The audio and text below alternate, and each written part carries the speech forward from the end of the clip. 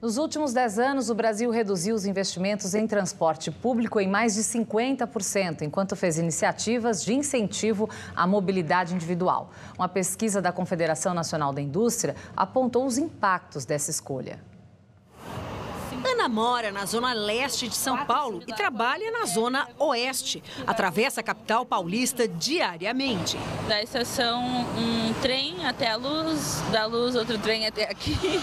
Daqui tem o Jumbo, que é esse, ou às vezes eu vou andando, aí para voltar para casa eu pego o trem, vou até a Luz ou a Barra Funda, é, chego em Itaquera, de Itaquera pego um ônibus que leva em média uns 20 minutos para poder chegar na minha casa. Ah, em média umas 3 horas.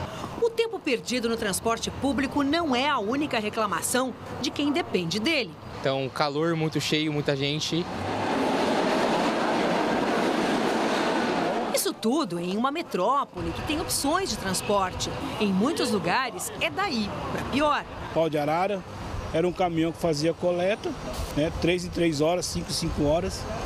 Todas essas reclamações têm uma razão: o baixo investimento público no transporte coletivo, que, segundo a Confederação Nacional da Indústria, na última década caiu pela metade. Em 2013, ano marcado pelos protestos que começaram contra o aumento de 20 centavos nas tarifas de ônibus, o investimento estatal no transporte público foi de 8 bilhões de reais. No ano passado, caiu para 4 bilhões. Deveria ter mais oferta, mais demanda de trens, com menos intervalos, porque às vezes o trem ele demora a cada 20 minutos, a cada 30 minutos, às vezes demora muito.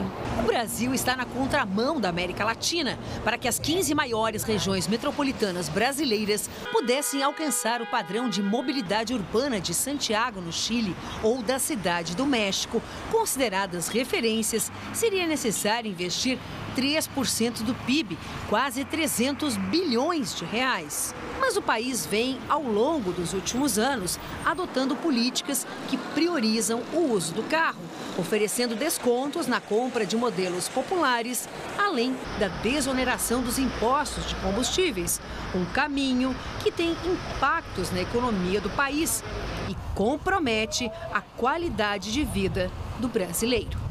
Primeiro, uma enorme, enorme perda de bem-estar.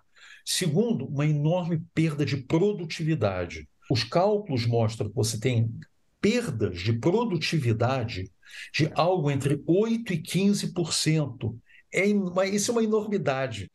Isso gera absenteísmo, claro que as pessoas ficam exaustas, ficam doentes, pressão sobre a Previdência, pressão sobre o SUS também. Então, isso é uma tragédia para o nosso país.